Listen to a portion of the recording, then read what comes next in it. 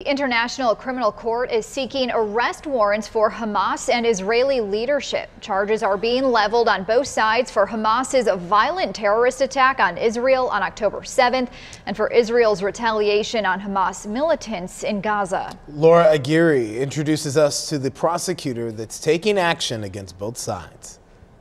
October 7th, 2023 the Hamas terror attack that ignited a war and a catastrophic humanitarian crisis. Now, an international prosecutor is taking action against both sides. We've applied for warrants to the pretrial chamber of the International Criminal Court in relation to three individuals uh, that are Hamas members. The charges are extermination, uh, murder, uh, taking of hostages, uh, rape and sexual assault in detention, in a statement Monday, Hamas said it strongly condemns the ICC prosecutor's attempts to equate victims with aggressors by issuing arrest warrants against Palestinian resistance leaders. We have a variety of evidence to support the applications that we've submitted to the judges. The ICC prosecutor is also going after Israeli leadership.